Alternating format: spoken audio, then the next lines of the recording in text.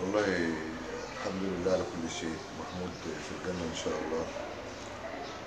لكن آه، أنا مش هزايد على حد تاني بقى هو الشعب المصري كله بيعزف محمود.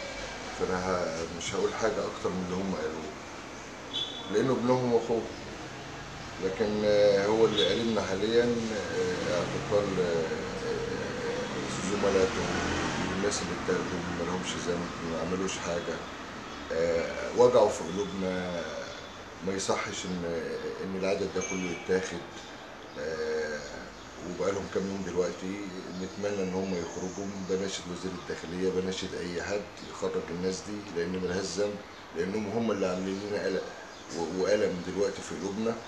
بتمنى من أي حد يقدر يخرج الناس دي في أسرع وقت يخرجهم.